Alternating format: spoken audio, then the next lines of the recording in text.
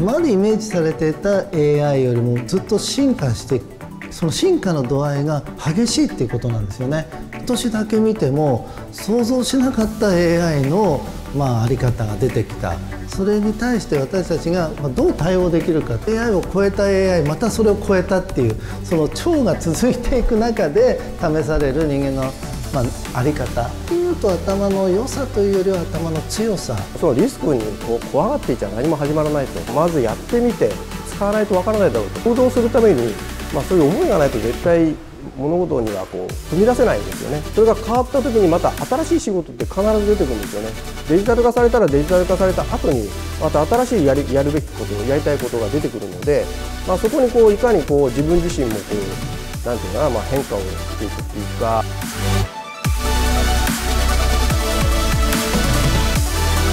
皆さんおはようございます、えー、ドコモビジネスフォーラムとニュースピックスのコラボ企画でお送りする特別講演です、えー、今回のテーマは超 AI 時代を生き抜くためにということでゲストの方々と議論していきたいと思います。進行は私ニュースピックススタジオの金谷が務めさせていただきます。よろしくお願いいたします。それではゲストをご紹介いたします。教育学者明治大学文学部教授斉藤隆さんです。よろしくお願いいたします、はい、よろしくお願いします。はい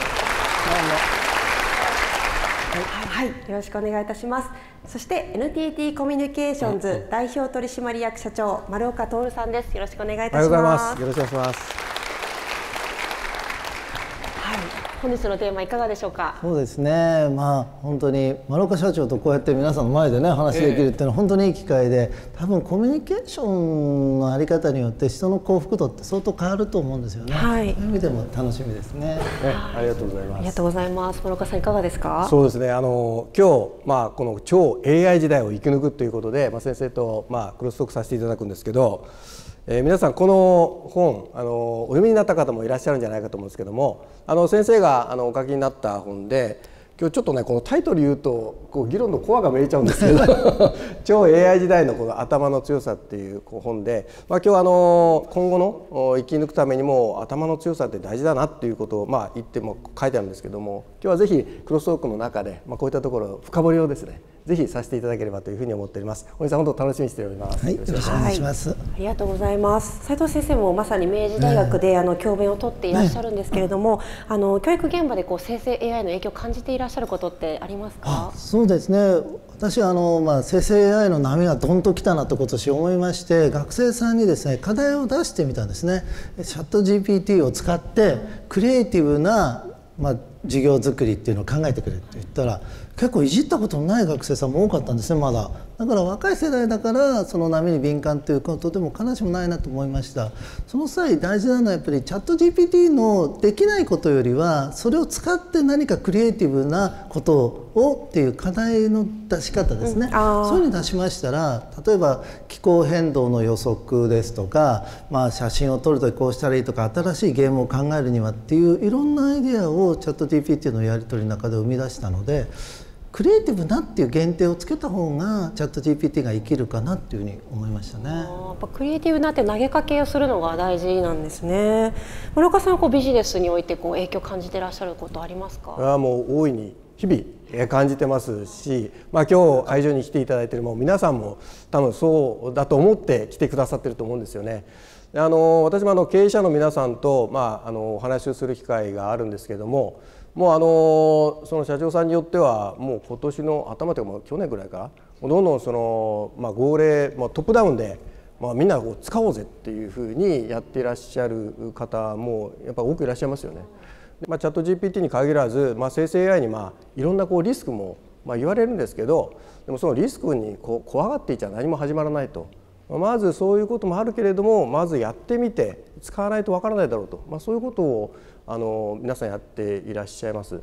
で実はですね、まあ、私もあの、えーと、社内で、まあ、ちょっと使おうぜっていうことでドコモの方で、えー、やってるあのドコモ LLM というのがあって、まあ、そこを使いながら、えーと、うちの社内でやるとですね見ていただきますと、まあ、あの実際にこう運用とか営業支援とか、まあ、人材活用ということで大体やはりあの社員のみんなが、まあ、自分が今やってる業務の中でどういうふうに活用できるかっていうやはり身近なテーマからどんどんどんどんこう入っているような感じがしますし、まあ、実際にその効果が出ているところもあります。ただまああの AI の活用はまあきっとこれにとどまらないもっともっとこう広がりがあるんだろうなっていうことをまあどんどん模索しているってまあそういう状況ですね。はい、もうまさに結構今使われているっていうところなんですね。今あのちょっとあの舞台裏でもこう先生とのお話ししている時にもうこんなに会話できるようになるなんて思ってなかったよねっていうふうにお二方おっしゃってたんですけども、もう本当にこう2045年ぐらいにシンギュラリティが来るっていうふうに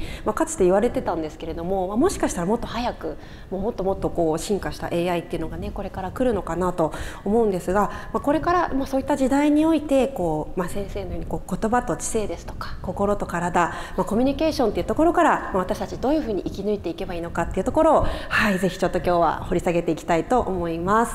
ではちょっと最初のトークテーマに参りたいと思います、えー、超 AI 時代ビジネスパーソンに求められるものとは？ということなんですけれども、えー、まずちょっと斉藤先生にお伺いしたいんですけどこの超 AI 時代そもそもどういったものというふうにお考えでしょうか？そうですね。今までイメージされていた AI よりもずっと進化してその進化の度合いが激しいっていうことなんですよね。特にまあ例えば2023年ですけれども今年だけ見ても想像しなかった AI のまあ在り方が出てきた。それに対して私たちがどう対応できるかってことなんですね。ですから AI を超えた AI またそれを超えたっていうその超が続いていく中で試される人間のまあ在り方、まあ、それはまあ端的に言うと頭の良さというよりは頭の強さですね。まあ、トータルに言うと論語の言葉で言うと「知人有」っていうことなんですけれども知者は惑わず人者は憂えず勇者は恐れずっていう。まあ知人有と私は3箇所ね体の場所として考えてるんですけどもやっぱり判断力とその誠実さコンプライアンスとそれと行動力ですね。こういうものが試される時代なんだなというふうにとりわけ勇気が大事かなと思いますね。はいはいはい、勇気も腹が座るみたいなことですね。やっぱり変化が激しい時って勇気がないとこう遅れてっちゃうんですね一本半分ずっと遅れてっちゃうんでそうすると取り残されちゃうっていう感じしますね。もうまさにこう勇気一歩踏み出す勇気っていうのが大事っていう話もあったんですけれども、はい、丸岡社長はこうどのように考えていらっしゃいますか？今の先生のお話とまあほぼ同じなんですけど私あの別に超 AI 時代だからというよりもまあ、やはりビジネスパーソンとしてま必要なことは、まあ、いろんな意味のバランスだと思うんですよね。まあ、心技体というふうにも言われますしあの、まあ、まあ私今、まあ、特に新入社員なんかにも言ってるんですけどこのまあ熱い魂とまあ冷静な頭脳というふうに言ってるんですよ。でまあ熱い魂は、まあ、まあもう言葉通りなんですけど、まあ、やっぱり自分のこう意志とか志がないと今おっしゃったようなこの言うっていうか、まあ、行動するためにまあ、そういう思いがないと絶対物事にはこう踏み出せないですよね。まあ、そういったその大きなきっかけはとにかくまあこの魂っていうかまあそういう意志のところだというふうに思いますし、まあ、今度は冷静な頭脳っていうのはまあそういう熱熱くあるんだけども、まあ、私たちまあ ICT 企業ということもありますけどもさまざ、まなそのデータが今まあ世の中にも多く出ていて。まあ、今日の AI なんかもそれをこう分析して、えー、いろんなこう付加価値をつけていくというふうに思ってるんですけど、まあ、そういうものをこう冷静にマーケットも見ながらいくただまあ大事なのはやはりそのお客様やそのパートナーの皆さんとのまあこのまあコミュニケーションが出てきますよね。なのでまあ冷静な頭を持ちながら会話をしていると次また次のこの意思につながる。それとも熱い次の熱い魂というか意思につながる。まあ、そういうのがこうぐるぐる回ってくると、まあ、またこう自分の作りたいことやっていきたいことがまたこう変わってくるんじゃないかと思ってまして、まあ、そういうこの2つの言葉を今社内ではちょっと使って話をしています。ありがとうございます。熱い魂と冷静な頭脳、斉藤先生いかがですか？いいですよね。本当に私もね、えー、最根端っていうまあ古典がありましてね、そこから自分でちょっと四文字熟語を作ってみたことがあるんですよね。それが霊眼熱心っていう言葉なんですけど、冷たいまあ霊目ですね。だからクールな頭脳ですね。で熱い心、まさにこれフィットしてますけれども、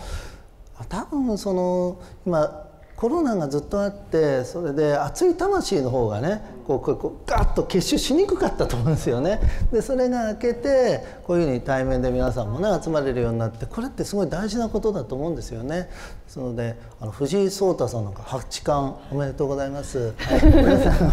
関係ないですか？でもあの棋士の方たちは魂熱いですよね。それでクールな頭脳でこう戦い続けてそして新しいものを生み出す、まあ、そういうまああり方がまあみんな求められたのかなと思いますね。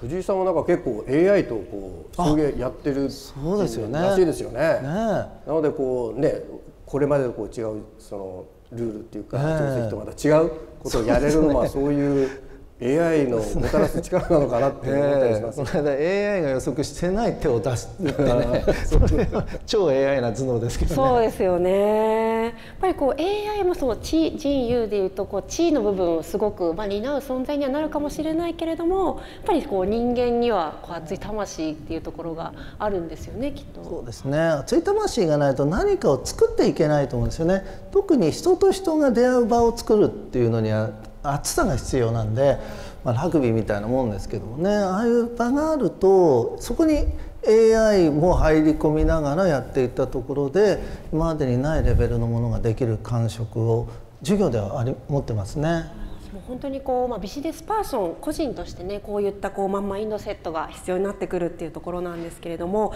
はい、ちょっと次のテーマにもいきたいと思います、えー、超 AI 時代に求められるビジネスの在り方とはということでちょっとここまでが割と個人のお話だったんですけどここからはちょっとビジネスのお話も伺っていきたいなと思うんですけれども丸岡さんこの超 AI 時代に求められるこうビジネスどのようにお考えでしょうか？超 AI だからっていうことではないんですけれどもまあ、やはりまあ競争まあ、今の先ほどちょっとお話も出ましたけど、まあ、共に作るということかなと、まあ、いうふうに思います。まあ、日頃のビジネスでも、まあ、こういう競争をいろんな方もこうおっしゃってますけど今日あの弊社の関係でいうと私どもの AI サービスであのコトハシリーズっていうことであのこうディープラーニングで、まあ、タスクに注目着目をしながらあのやる AI サービスなんですけど、まあ、具体的にはまあコンタクトセンターのこうチャットボットだとかあるいはまあ翻訳だとか、まあ、そういうことをやって今あのおかげさまでまあ800社のお客様にご利用いただいているんですけどこれどちらかというとその今申し上げたこうタスクにこう専門型なので、まあ、今言われているようなその汎用型のまあ生成 AI とまあこれを組み合わせることでまたそういった次のまあこう新しい AI サービスにまあ、なんかこう進化できるんじゃないかということは実は期待しています。であのまあ、今後その AI が AI もですね、まあ、今 AI 個別の AI があって、まあ、それがきっとその、まあ、絵にありますけども、まあ、金融とか製薬医療とか、まあ、それぞれのその業界に特化した AI があるだろうと。でそれをが、まあ、お互いにこの対話し合う会話し合うコミュニケートするっていうですねで、まあ、人間の脳も結局その部位によって得意分野があるじゃないですか。でだから同じような発想で、まあ、これがこう、まあ、結びつくとまたその、えー、とこう違う違うレベルの、まあ、AI に行こうといくと。で私たちは、まあ、こあのコミュニケーションズとしてはこういうあの AI を使って皆さんと、まあ、そのソリューションをどんどん開発していくのがまあ仕事ですので、まあ、そういった意味ではそのこの AI がどんどん進化すれば、まあ、それに向けて、まあ、私たちもその AI を使いながら、まあ、お客様と一緒にさまざまなものを作り上げていく、まあ、その時はやっぱり競争というか共に作るという、まあ、それは非常にまあ重要なことだなというふうにまた、まあ、改めて最近思ってます。なんかもうすごいすでに超 AI が始まってるのかなという気もするんですが斉藤先生今競争っていうお話もありましたけどね。やっぱりこれからの時代の、まあ、価値っていうのはアイデアだと思うんですねアイデアがいろんな、まあ、まあ価値を生み出していくと思うのでその時に一人で考えてるとなかなかアイデアが生まれないんですねそれで大体3人か4人のグループになってもらって課題を出すと、まあ、ちょっとした一言からああって出てくると。そこに AI も加わるとですねかなり知識量が多いので 圧倒的に、ね、教えられます そうですね。でお互いにやり取りする中でああってこちらも気づく部分があるっていう。まあそう考えるとこの今言われた競争の部分で AI 同士もあの各分野の AI 同士もこう対話するってイメージもあるんですかね。そうだと思います、えー結構、まあ、あの対話をしながら、まあ、お互いにこう監視し合うとかですね。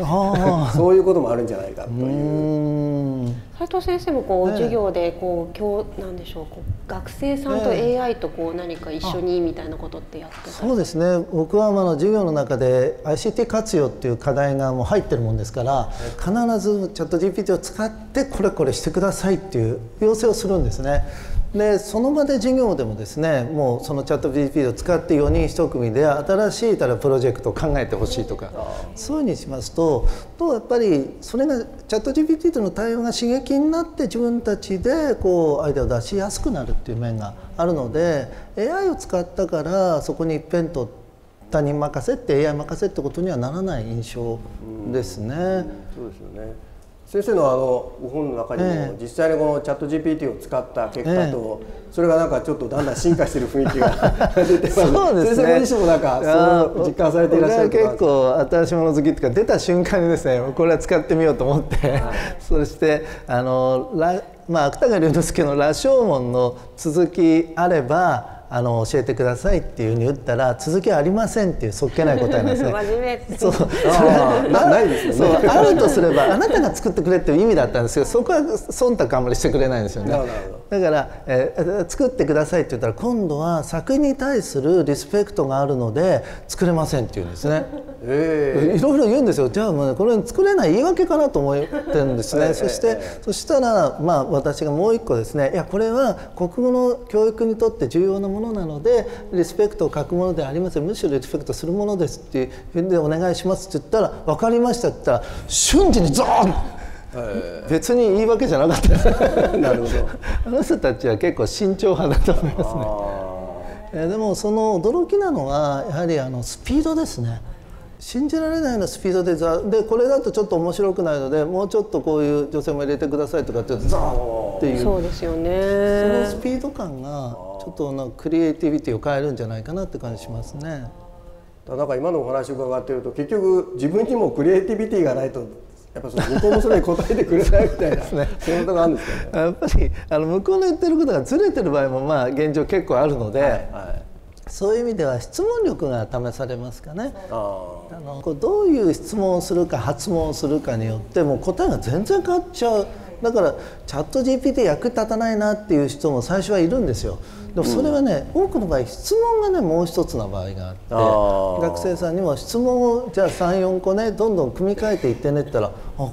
いいのが出てくるようになりましたっていうので多分使い手側も試されてる感じしますね。そうですよね。そうもう本当にでもそういったこうプロジェクトにこうね学生時代からもう触りながらねこうされてるような方が今後こう社会に出てくるっていうところでこうまた超 AI とこう組み合わさることによってねすごくビジネスが加速しそうだなというふうにも思うんですけれども、まあいいことばかりでもないというところもあるかなと思いまして、はいちょっと次のテーマにも移りたいと思います。はいデータ駆動型社会とサステナビリティティとの両立とはということなんですけれども、まあ、こうしたこうたくさん、ね、こうデータが使われるこうデータ駆動型社会っていうことになると、まあ、サステナビリティってこともしっかり考えていかないといけないっていうところですよね、丸岡さん。データ駆動型社会ってもうずもうこう数年来言われていることでデータによるとですねこれは左側があのデデータセンターのデータ量で右側がまあ消費電力ということでまあ、2018年比でいくとですね、まあ、16倍とか13倍とか、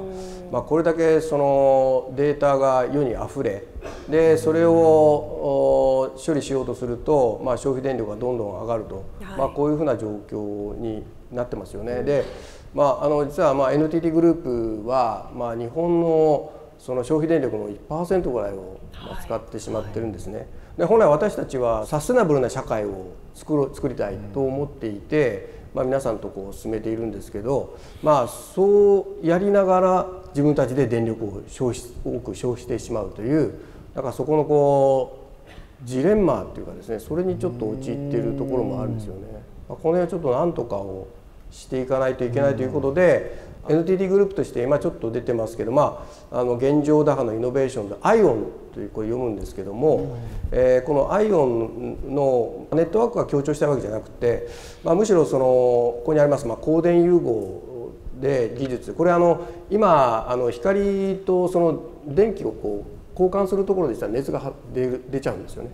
まあ、そういった意味でこう光だけでその処理をしちゃうとそこの分のその発熱が抑えられるとか、まあ、そういうこう技術を今あのパートナーの皆さんとこうどんどん進めているんです。まあ、そうすると全体としてその、まあ、電力効率もまあ100倍ぐらいになると、まあ、いうことを技術的には言われていて、まあ、そういう世界観をやることで、まあ、あのデータ駆動型社会なんだけどもいかにそれをこ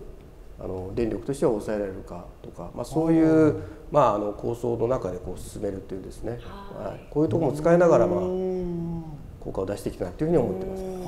なかなか難しいところありますよね。すごいですよね。こう、まあ電力使えば使うほどこう増えてしまうっていうところをこう100分の1にするってすごいままさにイノベーションだと思うんですけれども斉藤先生いかがですか、いや本当にねやっぱり電力っていうのは抑えなきゃいけないけどデータってのは増え続けると思うんですよね、うん、だからもうやっぱり皆さんデータがあればあっただけあった方がいいっていう。えーそういうふうにやっぱり思ってしまうし溜まってくると思うんですよね、えー、だからデータを減らすっていう方にはなかなか難しいでしょうね絶対増えますね。増えますよね、えー、もうあれですよね。まあ皆さんもそうだと思うんですけど、まあ、昔はテキストベースだったのが、えー、今はもう映像ですよね。ほとんど映像ですし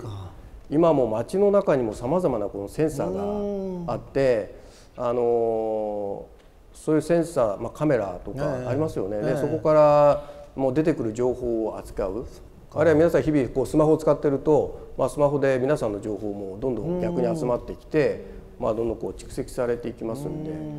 まあ、増えることはあっても減ることはもうきっとないなと、ね。はい、映像だとテキストベースと全然違う電力消費ですよね。えー、チャット GPT でね昨日 NTT 丸岡社長に何か何を聞いたらいいかって調べたんですよ。そしたらねビジョンとテクノロジーどんなテクノロジーに投資しているかそれとあとサステナビリティについてどう考えてるかって3つだったんですよ。でサステナビリティの電力消費についてはどうかっていうふうに聞いたんですよ。そしたらあのやっぱりそのシステムの効率化っていうんでしょうかね、はいはい、そこであの、まあ、古いシステムじゃなくて新しいシステムに電力消費の少ないシステムに切り替えていくことが大事みたいな。なるほど。いかがですか？ちょっとメモしてすごいですね。でもチャット GPT 自身もちゃんとサステナビリティっていうキーワードが、えー、ついてきてますね。ね。今こう丸岡さんのこう話でこう、はい、IO の中でこう競争っていうキーワードもあったんですけど、やっぱりこうこれも NTT コミュニケーションズだけでっていうことではなく、ああもちろんそうですね。これも競争はまあいろんなところであの言われてますんで。あのまあ、私たちだけではありません、まあ、要はですね、まあ、私たちはまあ ICT 企業なので ICT についてはもちろん分かります、はい、ですけども何ていうんですかねそのサステナブルな社会というか、まあ、それぞれのこの皆さんが社会的課題とかもうもっともっと身近な自分たちの業務に対する悩みもいっぱいあるわけですよね。でそれをまあいやいやこう解決したいよねという時に、まあ、その私たちは ICT ありますからどうぞって言ったって絶対解決しないわけですよ。それは相手のお困りごとがどういうことなのかっていうところが分からないと、まあ、業界によっても違うし、まあ、例えば地方によっても持ってる課題ってやっぱ違いますよね。ですのでそういったところをが分かれば私たちもそこにあこうそれではこういうこういう形でどうでしょうかっていう、まあ、トライアンドエラー的なところもあるので、まあ、そういった意味じゃこう共に作るっていうのが、まあ、今非常に重要だなと思ってまして、ね、相手のことを分かるってすごい大事ですよね。ですね。やっぱり相手の隠れたリクエストを掘り起こすっていうのが大事だと思うんですよね。なんとなく何が欲しいんだろう何を求めてるんだろうっていうのが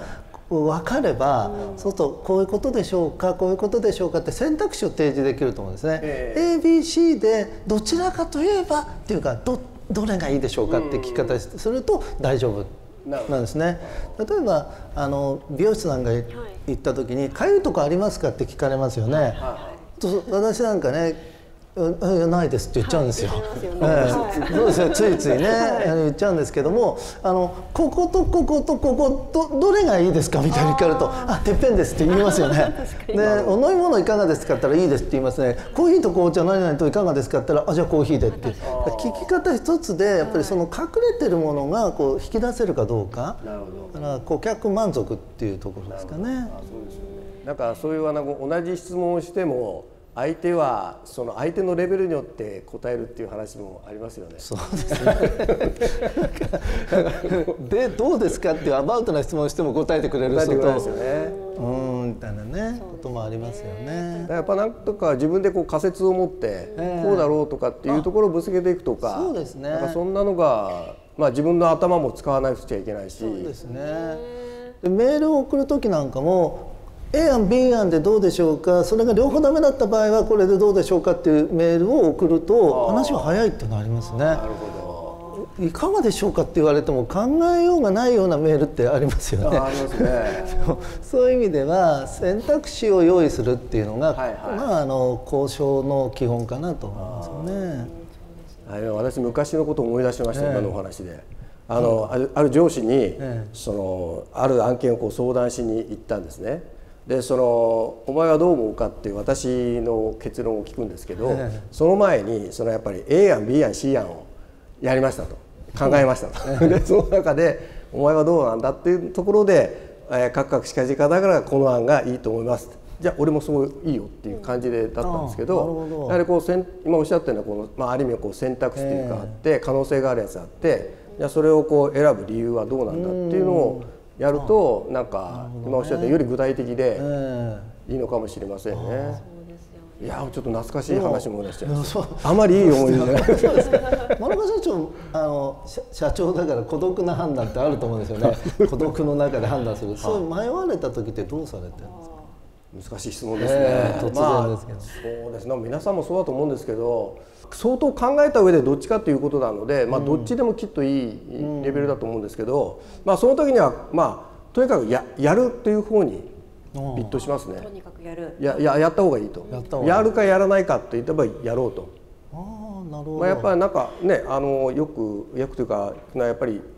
やって、えー、やって後悔するよりもやらないで後悔するよりもましだよねっていう話もありますよね。まあ、なのでまあその場合はもうあもう超迷ったらもう,、まあ、もうやる。こっちで行こうということではい、そんな感じがあのある意味そそういうふうに思ってると、まあ、意思決定もしやすい感じがしますね。なるほどね、はいはい、大谷方式ですね。大谷方式。と とりあえず 何でもやりますから話したね。大谷翔平の話です。えー、知事への U, U の部分ですね。ややとりあえずやるっていうのはね。はいなんか本当超 AI 時代って言いながらもやっぱりこうなんかよりそこ人としてなんか大事なことみたいなのがこうね見えてくるような感じはありますよね。はい。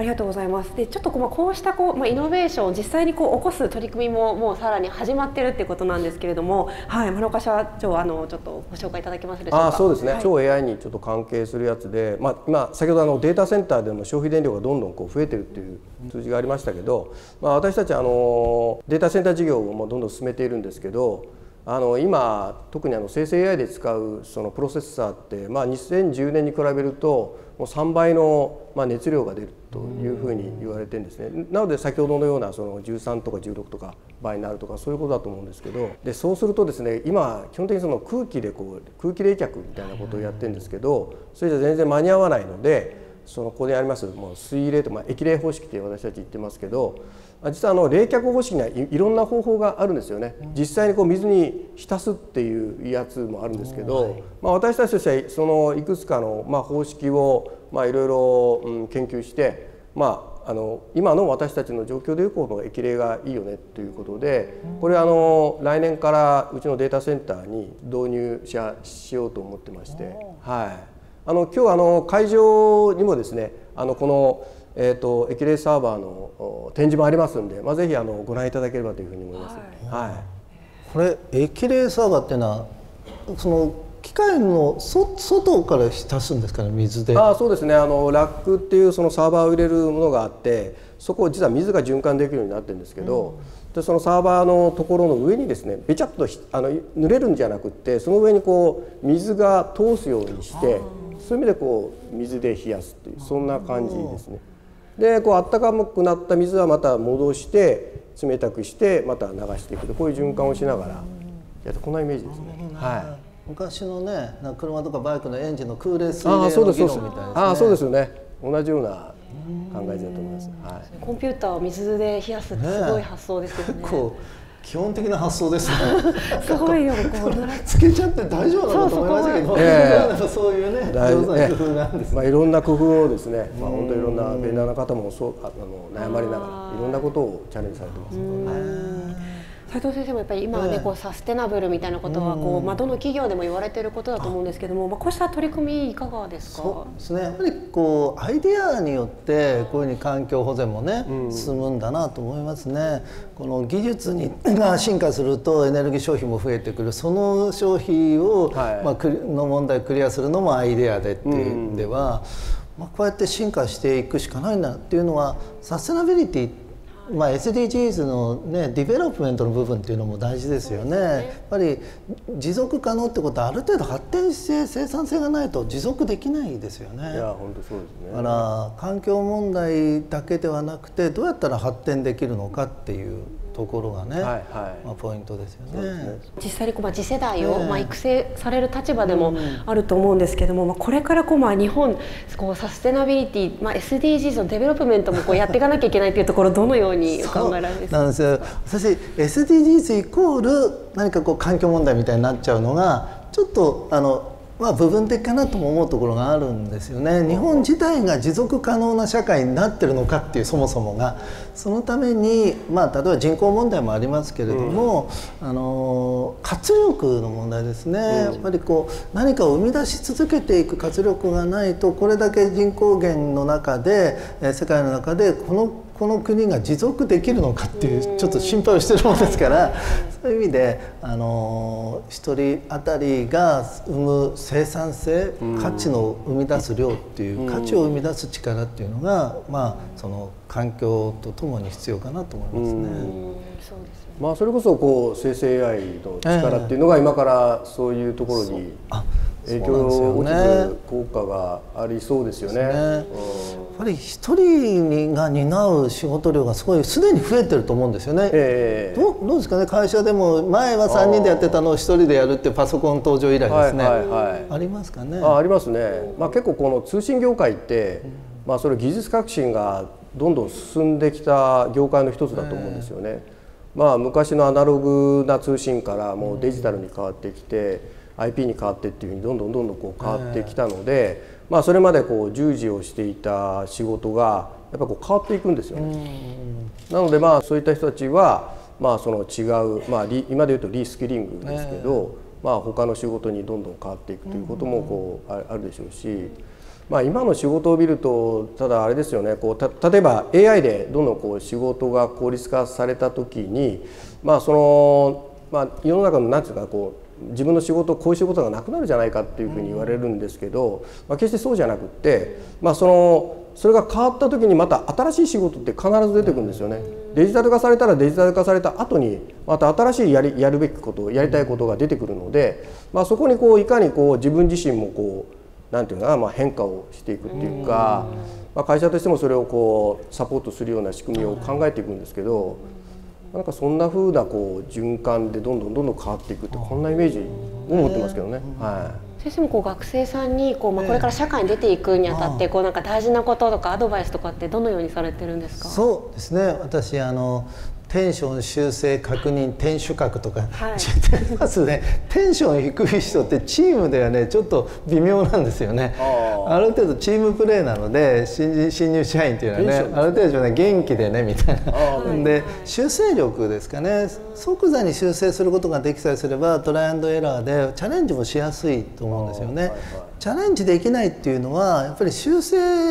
ができない人が陥るまあなんていう弱点なんですね。ですから必ず修正を早くすればいいんだっていうふうになるとチャレンジもしやすくなる。そしてあとは勝手にやらないっていうんでしょうかね。確認を取れっていうか。大変トトラブルのほとんどは確認不足によるものなのでテンション修正確認天守閣でちっとも流行らないですけど これねほうれん草以来ね、新しいの作ってみたんですけど、はい報告連絡相談よりはテンション高くすぐ修正して確確認を認をしようっていううのはねいいかもしれないですね。そうですね。ちょっと私もちょっとそれでやってみる。ねだからミスの原因は確認不足だね。みたいなありますよね。さまざまなこのまあセキュリティの問題なんかもいろいろ出てくると、ね、まあやはりその今おっしゃった確認というのはすごく重要で、えー、ちょっとこのわ忘れちゃったとか、えー、まあこのサーバーは今からもう撤去するから、まあそのままに他のやつは全部その例えばセキュリティ万全にやるんですけど、えー、これ来月にも撤去するやつだからいいやと思っちゃうと、えー、もうそういうところをもう狙ってくるんですよね。私たちもセキュリティサービスを出していますけど、もうセキュリティも今こうゼロトラストとかって言われてて入ってこられるのはある意味はもう仕方がないと。でそれをまさしくあの修正というか見つけて見つけて修正してで確認をするっていう、まあ、そういうのがすごくこう基本的なこの日々の行動がすごく重要だっていうのを、まあ、改めてこう、ね。えー、感じるとこありますね。セキュリティのためにかけてるコストっていうのはすごいそうなんです、ね、そうなんですよね。で普段はこう何事もなければもう何のためにこのセキュリティにお金かけるんだって話になりますよね。でいろんなこうトラブルが起きて初めて「はい、これ入れておけばよかった」っていうこの難しいところがあって。まあ、うちの会社だったらどの程度にしておけばちゃんとこうきちんと義理重要なところを守れるのかとかですね非常に難しい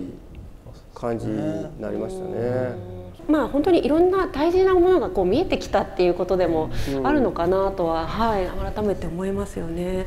はいちょっともうすごいお話が盛り上がってはいるんですけれどもちょっとお時間が少なくなってきたんですがあの丸岡さんからぜひちょっとこの場であの斉藤先生にお聞きしたいことがまだあるっていうふうにお伺いしてるんですけれどもはい。そうなんですよ。一読者として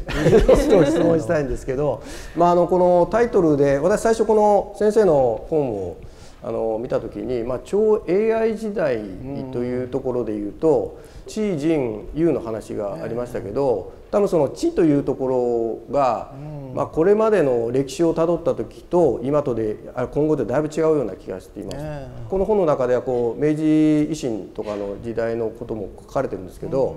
まあ、当時で考えているこの地と今これからのこの地っていうのはこうだいぶこう違う気がしますと、そこがだその AI とかにどんどん代替されるというか、まあ、そういう気がしていてまさしくその超 AI 時代におけるその地人有の関係が昔と比べてこう違うのかいややっぱ変わんないのかってその辺いかがですね。やっぱりかなり変わってきてますね。とりわけ違うのが地の判断スピードですよね。やっ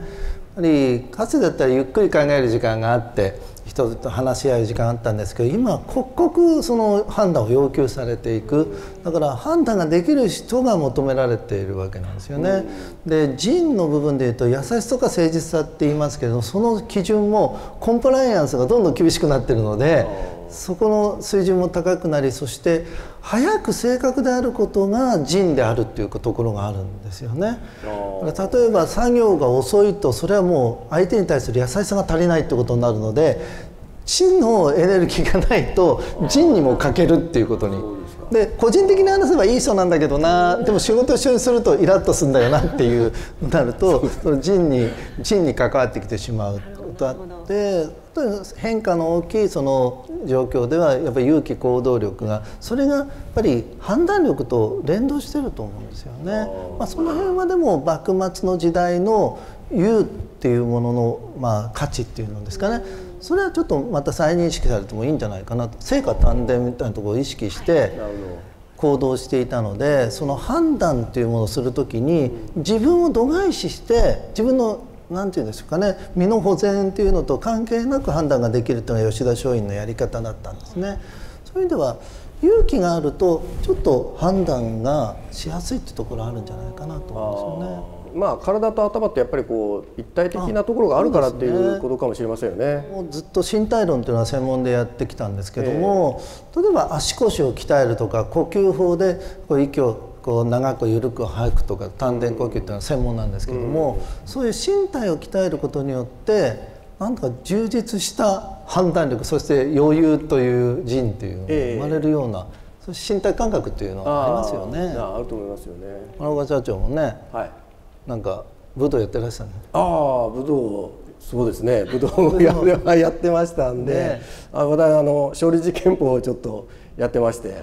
なんとあの先週ですねあの少林寺拳法の世界大会があって、ちょっと私あのえご縁があってそこのあのちょっと大会顧問みたいな感じで行ってきたんですけど、えちょすみませんちょ完全に雑になっちゃうんですけど。いやあのまあもともと少林寺っていうまあ武道全体そうだと思うんですけどもこう心と体って最初冒頭申し上げたようなこと、まあ、ビジネスパーソンにも求められることとやっぱこう武道人というか、まあ、そういうことをやる時には、まあ、やはりこう、まあ、心と、まあ、心の収容と体の収容とあるということと、まあ、もう一つはあの教えの中ではあの、まあ、己の幸せと人の幸せをっていう言葉があるんですけど、その時もですね順番が大事で。まずは己の幸せから来るんですよね。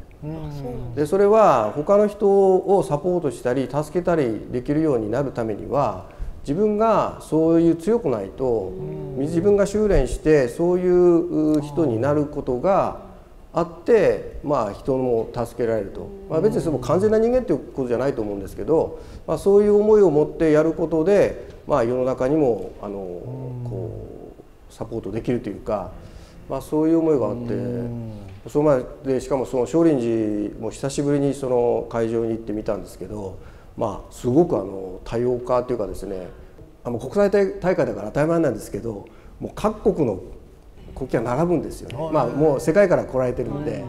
なんかあのそういう意味じゃこう今のこう多様性というかですね、ダイバーシティを少林寺もダイバーシティだなっていうのを感じたところでしたんで、えー、まあ、そういったこう先生おっしゃったように、まあ、心と体。これは本当大事なことかなと思いますよね。まあ、超 AI 時代になると一人にかかる負荷も強くなってくるんですよね。そうした時にストレスもすごく強くなるので自己肯定感っていうのを維持するように心のセッティングしておかないと潰れちゃうかもしれないので、はいはい、自己肯定感を高めるっていうのを授業に必ず入れてますね。えー、4人一組になって1人ずつ自慢話をするっていう、えー、で他の3人がそれを絶賛するっていう。結構あのポジティブな会話になりますね。すね普段謙虚であれ謙虚であれって言われてるのでみんなあんまり自慢話しないんですけどそれをしていいっていう空間にして褒められると自己肯定感が上がってちょっと楽になるこの部分がないとこの超平和時代のストレスだけだと持たない感じがするんですよね。はいはい、仕事でも活かせそうですね。ですね。もう自画自賛の回路持ってる人が一番強いですけどね。もう人からいいね押されなくても自分で押し続ける。はい、今日もね会場内ねこう大爆笑ですよね。心の中で大爆笑っていうふうに私受け取るタイプで。そうなんですよ。だから結構自画自賛的な自己肯定感というのもねこれから大事かなそうですね。そうですね。なんか本当にこうデータの時代とか AI とか言いながらもやっぱりこうなんかすごい最後人間性の話にやっぱり戻ってくるんだなっていうところがねありますよね。はい。ありがとうございます。なんかすごく私もなんかいいお話をすごくたくさん聞けたなと思いました。ちょっと最後あのせっかくなのでぜひお一言ずついただければと思うんですけども、丸岡さんいかがですか？先生どうもありがとうございました。非常にあの楽しいあの会話させていただきました最後の質問をした時